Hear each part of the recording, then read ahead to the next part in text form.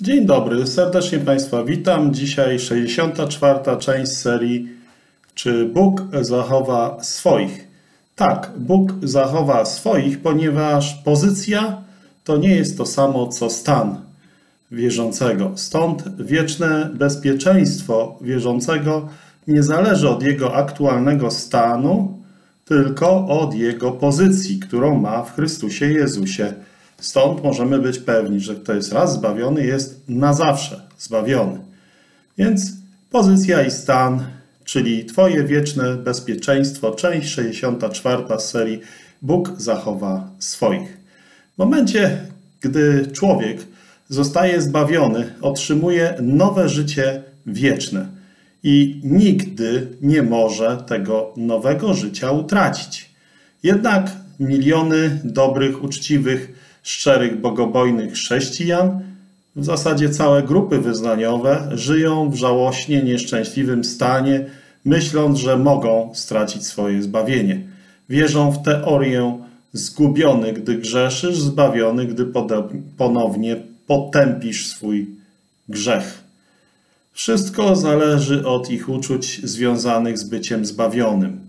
Ci chrześcijanie są w tym nieszczęśliwym stanie, ponieważ mieszają całkowicie mieszają swoje położenie przed Bogiem i ich stan z Bogiem, stan relacji z Bogiem. Nie wiedzą i nie widzą, że nasze położenie przed Bogiem opiera się tylko na tym, co Bóg uczynił dla nas przez kompletne, ostateczne, skuteczne i nieograniczenie wielkie dzieło Pana naszego Jezusa Chrystusa, kiedy Pan Jezus Chrystus przelał Jego krew i umarł za nas na krzyżu Golgoty. Jednakże mój stan, nasz stan lub kondycja codziennego chodzenia z Bogiem opiera się na naszej pracy dla Boga po zbawieniu i na naszym posłuszeństwie Bogu, a to wiąże się z ludzkimi emocjami, jak czujemy się z naszym zbawieniem. Tak więc, Jednego dnia możemy być na szczycie w chmurach, a następnego dnia wpaść w rozpacz. Tak jest z naszymi uczuciami. Masz wszystkie przywileje i ziemskie prawa swojej rodziny, ponieważ się w tej rodzinie urodziłeś. To, jak dobrze traktujesz swoich rodziców i jak szczęśliwi jesteście jako rodzina, nie ma nic wspólnego z waszym stanowiskiem jako członka rodziny, chociaż ma wiele wspólnego z waszym stanem, waszym szczęściem w rodzinie. Podobnie pozycja zbawionego opiera się na naszych narodzinach w Bożej rodzinie. W Ewangelii Jana, pierwszy rozdział, 12 do 13 wersetu jest napisane. Ewangelia Jana, pierwszy rozdział,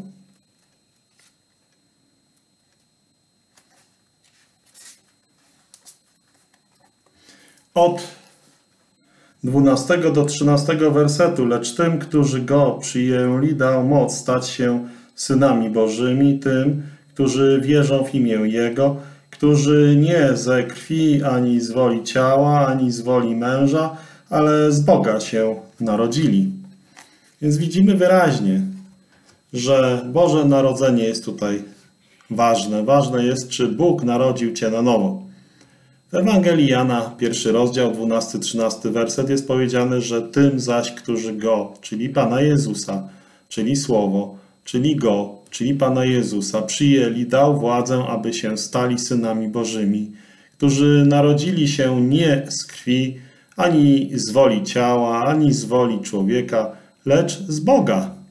Również kto wierzy, że Jezus jest Chrystusem, narodził się z Boga, tak jest powiedziane w pierwszym liście Jana, czyli pierwszy list Jana, rozdział 5, rozdział 5, werset pierwszy. Pierwszy list Jana 5:1. Każdy, kto wierzy, że Jezus jest Chrystusem, z Boga się narodził i każdy, kto miłuje tego, który urodził, miłuje i tego, który z Niego jest narodzony. Czyli widzimy wyraźnie, że każdy, kto wierzy, że Jezus jest Chrystusem, narodził się z Boga. Chodzi o wiarę w sercu, wiara serca, A więc jeśli uwierzysz w sercu swoim, że Jezus jest Chrystusem, narodzony jesteś z Boga w tym momencie i od tego momentu raz na zawsze. To nowe narodzenie, nowy duchowy porządek, nowy początek, start z Bogiem jest tym, co Pan miał na myśli, między innymi w Ewangelii Jana, trzeci rozdział, siódmy werset, kiedy powiedział Nikodemowi, że musi się na nowo narodzić. To jest Ewangelia Jana, trzeci rozdział, siódmy werset. Nie dziw się, żem ci powiedział, musicie się na nowo narodzić. Kiedy powiedział Pan Jezus Nikodemowi, musicie się na nowo narodzić. My, narodzeni na nowo z Boga, chrześcijanie, wierzący Chrystusowi, że Jezus jest Chrystusem, wszyscy jesteśmy synami Bożymi przez wiarę w Chrystusa Jezusa, bo tak ogłasza nam Słowo Boże, między innymi w Galacjan 3 rozdział, 26 werset, list do Galacjan 3 rozdział, 26 werset. Czytamy następujące słowa. Galacjan 3, 26. To są bardzo mocne słowa w tym zakresie, albowiem wszyscy jesteście synami Bożymi w Chrystusie Jezusie przez wiarę. I pierwszy list Jana, trzeci rozdział, od pierwszego do drugiego wersetu.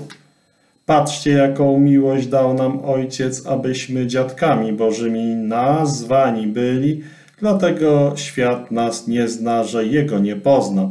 Najmilsi teraz dziadkami Bożymi jesteśmy i jeszcze się nie objawiło, czym będziemy. Lecz wiemy, że gdy się objawi, podobni Mu będziemy, albowiem ujrzymy Go tak, jak On jest. Wyraźne Słowo Boże mówi tutaj, że każdy, kto uwierzył Panu Jezusowi jest Synem Bożym. Coś zupełnie nowego dzieje się z nami, gdy jesteśmy zbawieni. I to mówi nam innymi drugi list do Koryntian. I to jest w piątym rozdziale. Piąty rozdział drugiego listu do Koryntian. Siódmy, y, piąty rozdział, siedemnasty. Siedemnasty werset. Piąty rozdział, siedemnasty werset. A tak, jeśli kto w Chrystusie, ten jest nowym stworzeniem, stare przeminęło, oto wszystko stało się nowe. Jeśli ktoś jest w Chrystusie, jest nowym stworzeniem. Wyraźnie tak jest powiedziane w Słowie Bożym. Jesteśmy także, jak mówi nam drugi list Piotra, pierwszy rozdział, czwarty werset, uczestnikami boskiej natury. Mamy boską naturę. Pierwszy rozdział, czwarty werset drugiego listu Piotra. Drugi list Piotra, pierwszy rozdział, czwarty werset. Przez które nam darował największe i drogie obietnice, abyście się przez nie stali uczestnikami boskiej natury, uniknąwszy skażenia w porządliwości, która jest na świecie. Wyraźnie powiedziane jest, że jesteśmy uczestnikami boskiej natury. My wszyscy, którzy uwierzyliśmy Panu Jezusowi Chrystusowi. Mamy życie wieczne i już sama ta nazwa, życie wieczne, została wybrana przez Boga, aby pokazać nam, że nie jest to życie typu od upadku do upadku, ale raz otrzymane jest wieczne. Życie wieczne jest bezpośrednio od Boga, jest darem Bożym, i darem Bożym jest życie wieczne, jak komunikuje szósty rozdział, 23 werset listu do Rzymian. List do Rzymian, szósty rozdział, 23 werset. Albowiem zapłatą za grzech jest śmierć, ale darem łaski Bożej jest żywot wieczny w Chrystusie Jezusie Panu naszym. Czyli bezpośrednim darem Bożym jest życie wieczne. Życie wieczne. Ten dar nie zależy od tego, jak dobrzy lub jak źli w działaniu jesteśmy, ale jest nam dany przez łaskę, niezasłużoną łaskę. Jest to przecież wyraźnie zakomunikowane w liście do Efezjan, drugi rozdział, list do Efezjan, drugi rozdział, ósmy werset.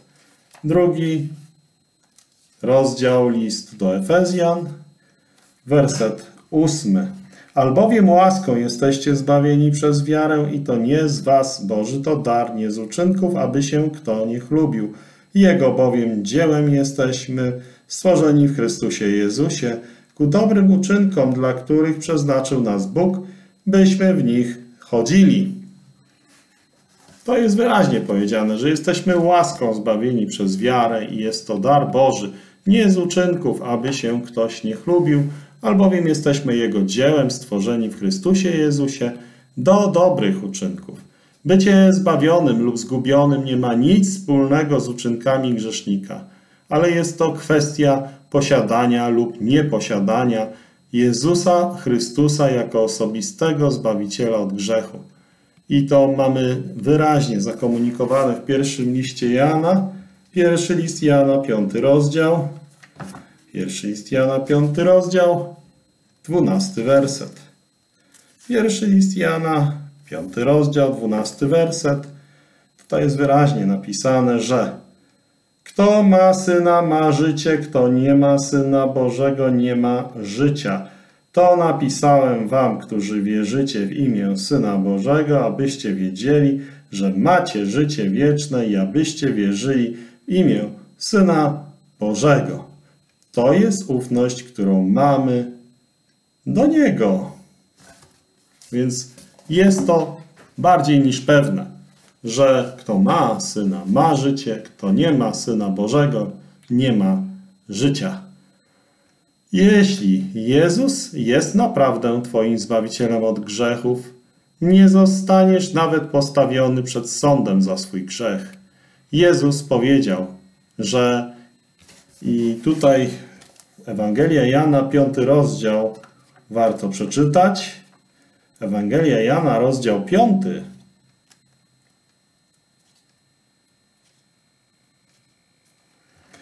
Dwudziesty czwarty werset. Zaprawdę powiadam wam, kto słucha słowa mego i wierzy temu, który mnie posłał, ma życie wieczne i nie przyjdzie na sąd, ale przeszedł z śmierci do życia.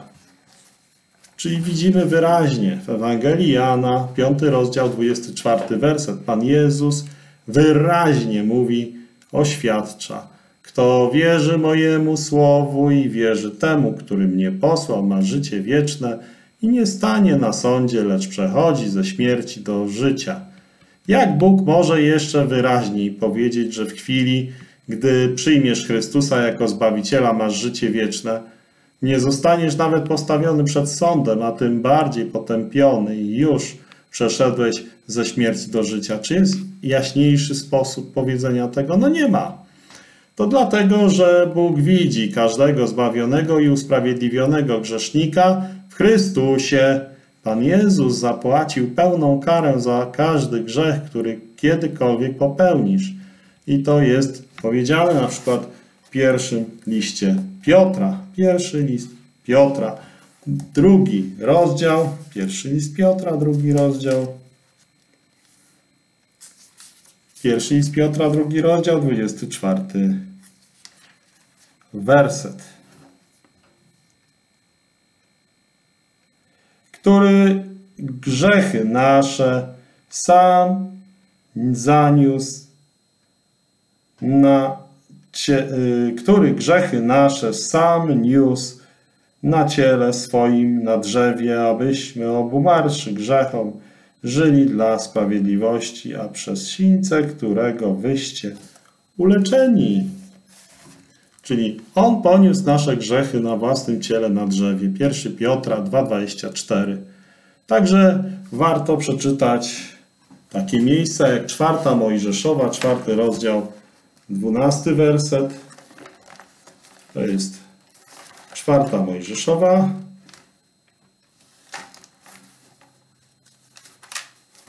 Czwarta Mojżeszowa, czwarty rozdział.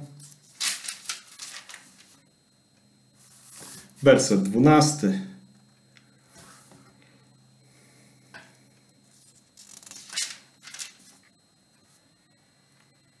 Wezmą też wszystkie sprzęty używane do służby w świętym przybytku, owiną je tkaniną z fioletowej porpury, okryją narzutą ze skóry borsuków i umieszczą na noszach.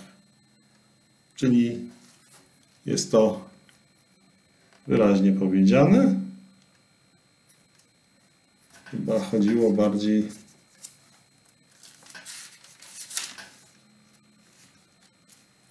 Nie, to jest dobry numer, tylko źle zanotowany. Więc niestety możliwe, że chodzi o trzecią Mojżeszową.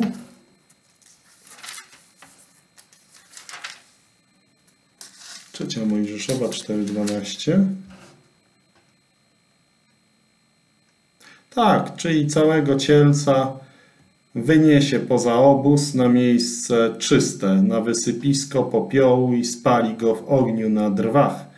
Na wysypisku popiołu będzie spalony. Widać wyraźnie, że na drwach, na drwach. Tak jak Pan Jezus na krzyżu niósł nasze grzechy, na drzewie niósł nasze grzechy, tak tutaj ten cielec był na drwach. Więc chodzi o trzecią Mojżeszową 4.12. Sędziów 9.11. Sędziów 9.11.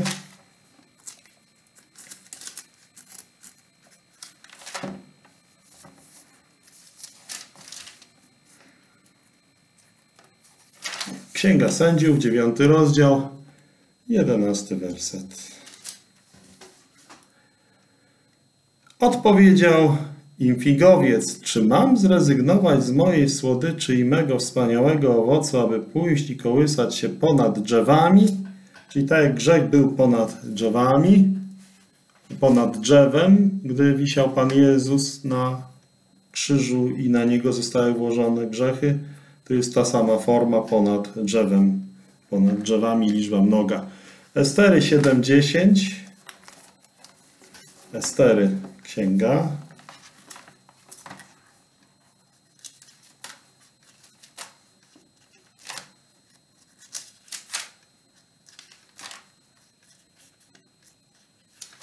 Siódmy rozdział.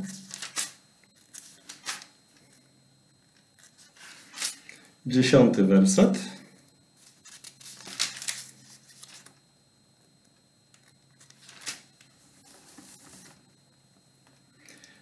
I tutaj jest też pokazane na drzewie, ale tutaj akurat zły człowiek wisiał na drzewie. Powieszono więc Hamana na drzewie, który przygotował dla Mordochaja gniew króla ustał. Czyli widać wyraźnie na drzewie i także Estery 8.7 ma podobne sformułowanie. Wtedy król Ahasferosz zwrócił się do królowej Estery i do Żyda Mordochaja. Oto dałem Esterze dom Hamana i jego zaś powieszono na drzewie, bo wystąpił przeciwko Żydom. Księga Estery w Septuagincie właśnie ma epitoksylon, to samo sformułowanie, które jest 1 Piotra 2,24 na drzewie. I to jest świadectwo właśnie przydatne do zrozumienia, jak prawidłowo należy przekładać 1 Piotra 2,24. Także Ozeasza 9,10. Ozeasza, 9 rozdział.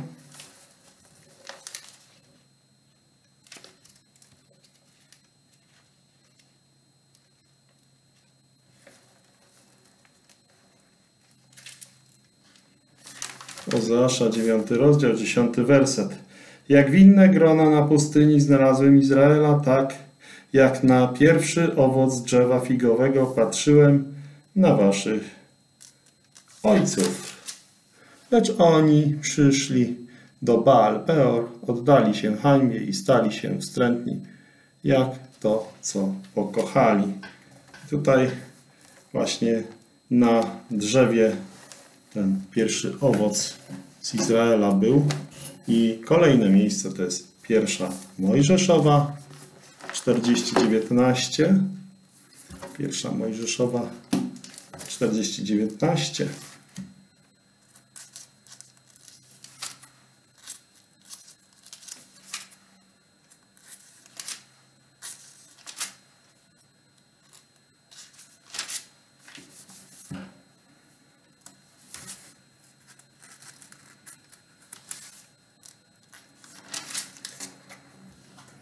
Jeszcze trzy dni, a faraon zdecyduje o Twoim losie i powiesi Cię na drzewie, a ptaki będą pożerały Twoje ciało. Czyli tutaj też była zapowiedź, że na drzewie będzie wisiał tenże sługa faraona i podobnie tutaj jeden ze złoczyńców skończył na drzewie, ale też to sformułowanie na drzewie pokazuje nam właśnie na samą technikę ukrzyżowania. I piąta Mojżeszowa 21. Piąta Mojżeszowa 21.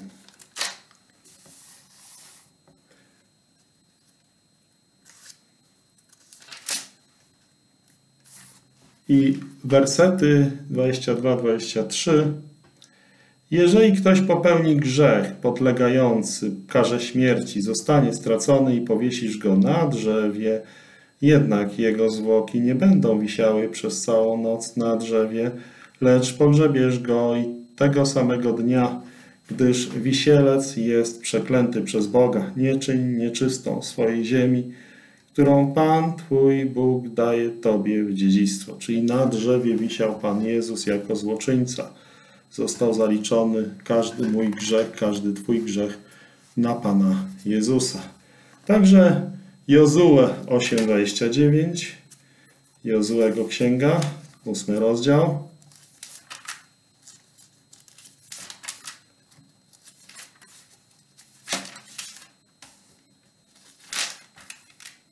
Dwudziesty dziewiąty werset.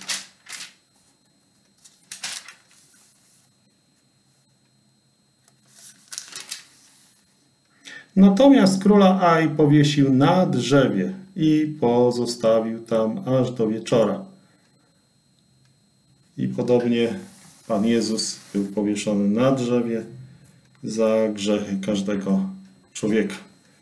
Jeremiasz 8:13 będzie miał trochę inny temat.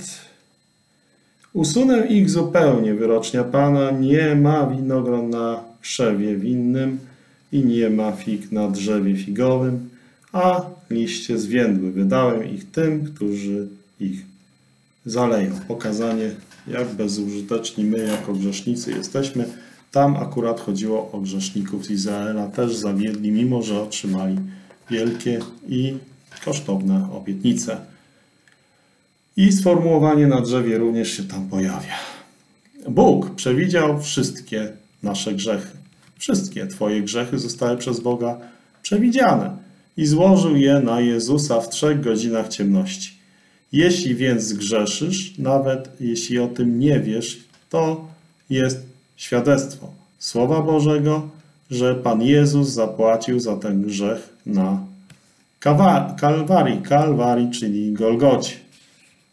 No to wtedy Jezus zapłacił za ten grzech na Kalwarii. To już zostało zgładzone. Ten sposób śmierć Chrystusa odpowiada na pytanie o grzech.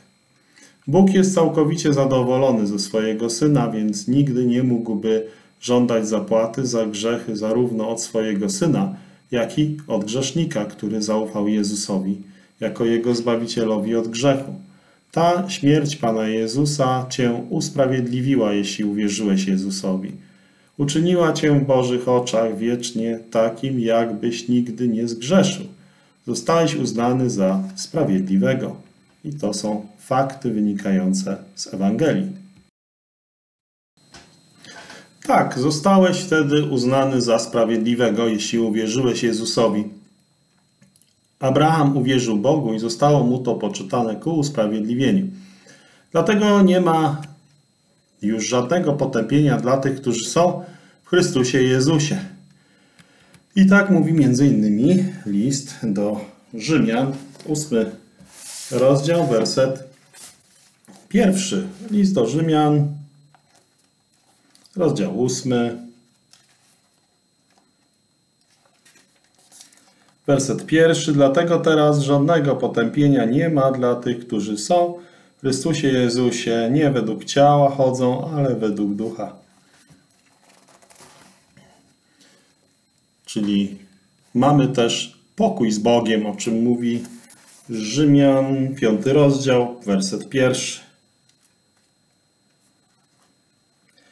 Będąc wtedy usprawiedliwieni z wiary, pokój mamy z Bogiem przez Pana naszego Jezusa Chrystusa. Ale jest możliwość, że możesz cieszyć się tym pokojem właśnie przez wspólne spędzanie czasu z Bogiem. W pewnym sensie można powiedzieć, że natura wewnętrzna Twoja nie będzie szczęśliwa, jeśli nie będziesz pracować, aby cieszyć się tym pokojem. Jezus powiedział w Ewangelii Jana, 10 rozdział,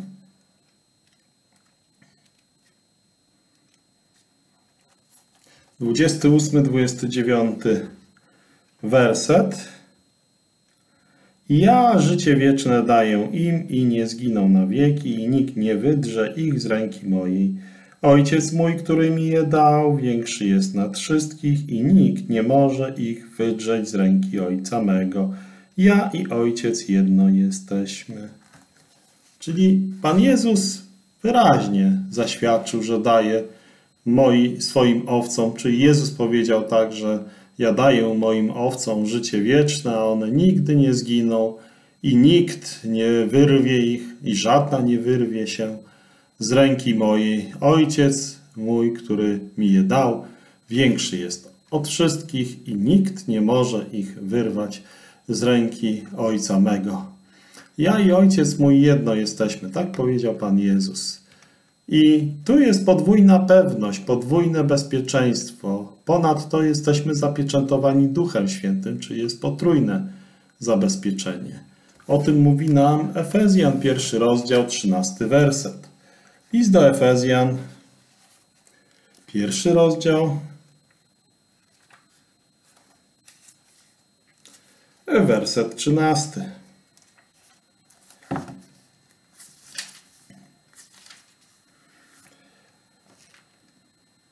który jest zadatkiem dziedzictwa naszego dla odkupienia nabytej własności ku chwale sławy Jego. I to jest mowa o Duchu Świętym obiecanym. I także Efezjan 4 rozdział 30 werset. Podobne świadectwo. Czwarty rozdział 30 werset. A nie zasmucajcie Ducha Świętego Bożego, którym zapieczętowani jesteście na dzień odkupienia. Wyraźne słowa Boże. Pieczęć oznacza własność, potwierdzenie własności. Jesteśmy własnością Boga. Tak więc mamy potrójne bezpieczeństwo lub pewność Trójcy Świętej. Tak, cała Trójca Święta zabezpiecza to bezpieczeństwo. Apostoł Paweł zadaje pytanie w liście do Rzymian 8 rozdział 35 werset i to jest dobrze znane pytanie, które myślę, że warto sobie przypominać wielokroć. Rzymian, 8 rozdział, 35 werset.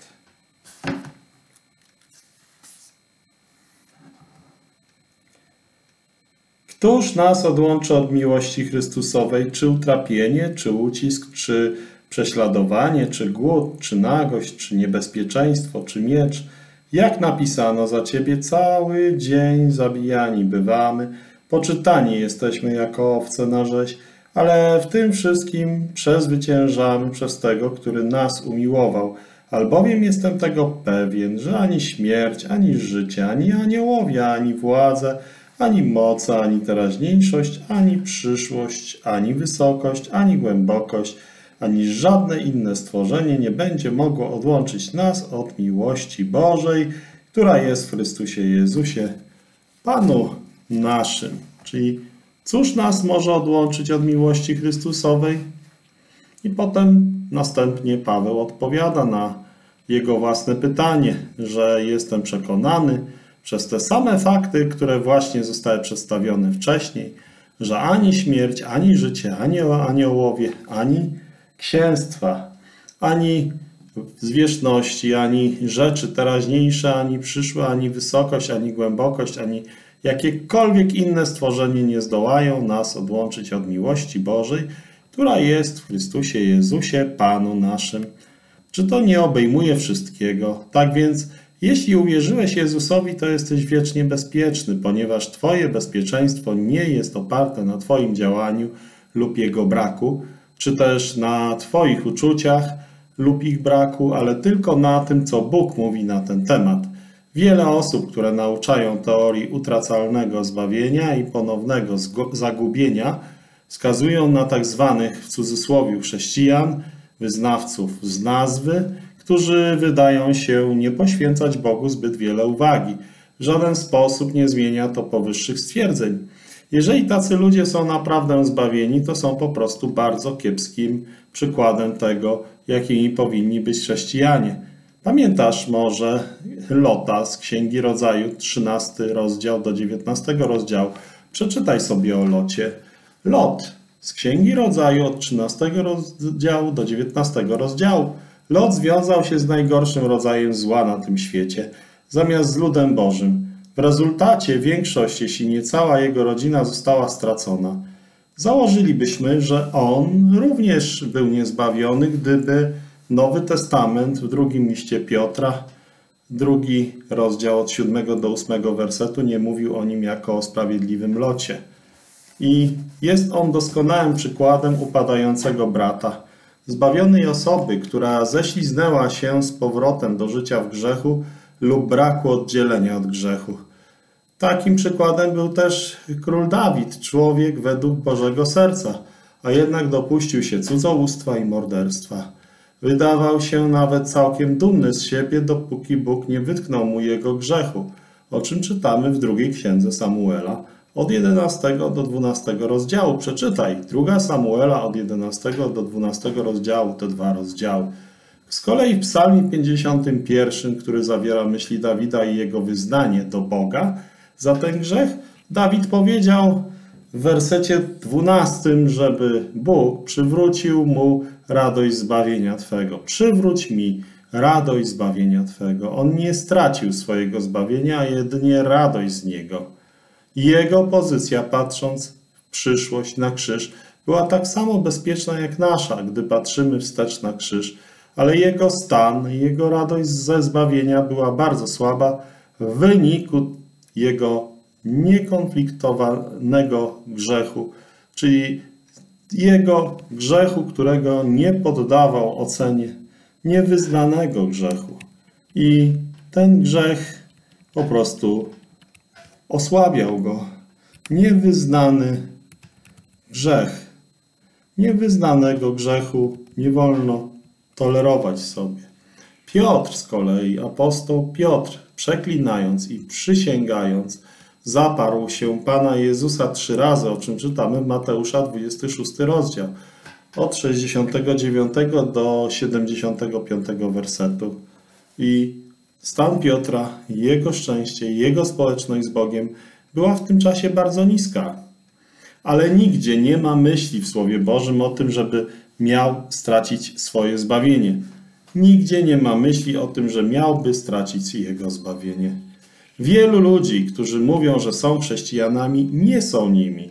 Chodzą do kościoła, dobrze pracują, robią 101 innych fajnych rzeczy, które sprawiają, że czują się religijni i bezpieczni.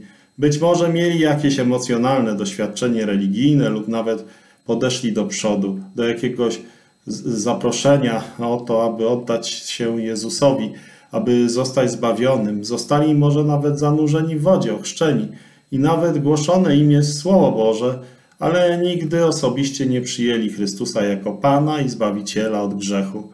Tacy ludzie są wyznawcami. Wyznawcami wyznają, ale nie wierzą. Wyznawcami, ale nie wierzą w sercu. Wierzą powierzchownie, po ludzku, ale nie wierzą tak jak Bóg tego oczekuje. Wyznają, że znają Boga, lecz uczynkami tym, co czynią, zapierają się Go, będąc obrzydliwymi i nieposłusznymi i niegodnymi żadnego dobrego uczynku. Tak mówi m.in. Paweł w liście do Tytusa, rozdział pierwszy, werset 16. Tacy wyznawcy znają drogę sprawiedliwości, bo mówi o tym drugi Piotra, drugi rozdział, od 20 do 22 wersetu. Znają drogę sprawiedliwości, znają wszystkie właściwe rzeczy, jakie da się powiedzieć na temat Ewangelii. Zakosztowali daru niebiańskiego, zakosztowali dobrego Słowa Bożego i poszli razem z Duchem Świętym, o czym mówi Hebrajczyków, szósty rozdział, od czwartego do dziewiątego wersetu. Ale nie chcą iść na całość i zostać zbawieni. Oni są niezbawieni i nie poszli za Jezusem. Oni w ogóle nie uwierzyli Jezusowi Chrystusowi. W Ewangelii Mateusza, 7 rozdział 21 do 23 wersetu, są też opisani martwi wyznawcy, którzy wyznają Pana ustami swymi. Pokazują te fragmenty, że można oszukać ludzi, ale nie można oszukać Boga. Można oszukać nawet samego siebie. Wiele wersetów używanych przez tych, którzy nie wierzą w wieczne bezpieczeństwo i nieutracalność zbawienia, mówi o wyznawcach bez rzeczywistego nawrócenia duszy do Boga, lub są to wersety, które pokazują utratę przez chrześcijanina nagrody, jaką otrzyma w tysiącletnim królestwie, jak nastanie nowe przymierze, co opisuje nam pierwszy list do Koryntian, trzeci rozdział. Podczas naszego królowania z Chrystusem, po tym, gdy wróci z nami na ziemię, aby ustanowić nowe przymierze. Jeśli jesteś tylko wyznawcą, jeśli masz po prostu tylko wyznanie, taką powierzchowną wiarę jak Szymon Czarnoksiężnik, masz wiele powodów do zmartwień. Ale już teraz możesz wszystko wyprostować z Bogiem, pokutując, odwracając się od swoich grzechów i wyznając Mu swoje grzechy, a następnie przyjmując Go jako swojego Zbawiciela i Pana. Jego przyjmij jako Zbawiciela od Twoich grzechów i jako jedynego prawdziwego Boga, bo jeśli ustami swoimi wyznasz, że Jezus jest Jahwech i uwierzysz w sercu swoim, że Bóg zbudził Go z martwych, osiągniesz zbawienie. Uwierz w sercu. Nie potrzeba żadnych wyszukanych słów. Wystarczy szczerość serdecznej rozmowy z Bogiem, sam na sam w Twoim sercu. Jeśli już teraz jesteś zbawiony, to upewnij się, że masz pewność tego zbawienia opartą tylko na pewnym Słowie Bożym.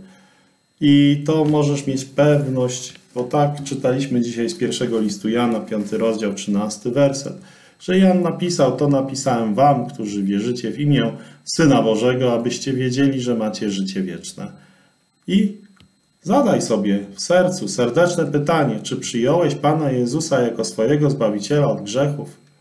Czy wierzysz Bogu, wierzył Abraham Bogu i poczytano mu to ku usprawiedliwieniu? Jak ty uwierzysz Bogu w swoim sercu, to również Bóg uzna ci to ku usprawiedliwieniu. Jeśli uwierzyłeś Bogu, jeśli przyjąłeś Pana Jezusa jako swojego Zbawiciela, jeśli tak, to jesteś wiecznie zbawiony, ponieważ Bóg powiedział. Dziękuję Państwu za uwagę. Zachęcam do czytania Biblii, Słowa Bożego. Jeśli nie masz egzemplarza Biblii, możesz do mnie napisać na przykład wysyłając SMS-a 739089088 i napisz, że chcesz Biblię bezpłatnie otrzymać, to ja w miarę możliwości taką Biblię Ci wyślę. Podaj tylko adres, na jaki należy ją wysłać. Dziękuję Państwu za uwagę. Z Bogiem.